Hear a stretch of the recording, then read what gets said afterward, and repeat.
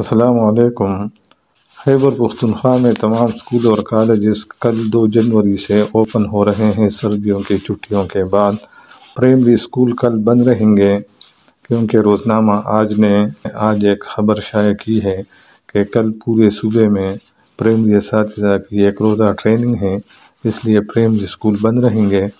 बाकी middle, high और higher secondary school और कॉलेज ये ओपन हो रहे हैं कल।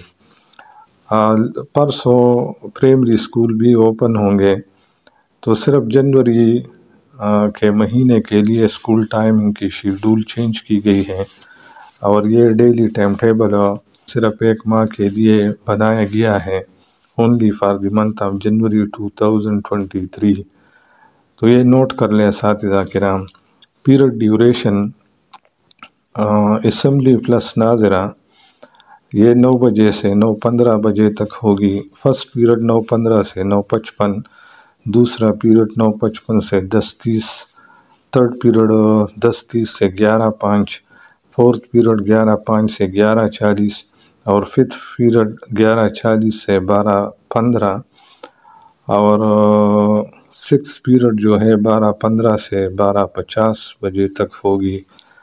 ब्रिक एंड नमाज़ जहर।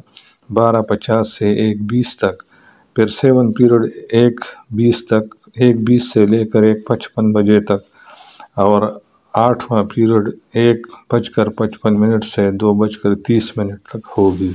Number of period on full working day आठ होंगे। Number of period on Friday पाँच होंगे।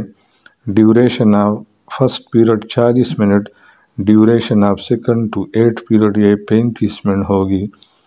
इसम्बली और नाजर कुरान पंद्रह मिनट, और ब्रिक तीस मिनट।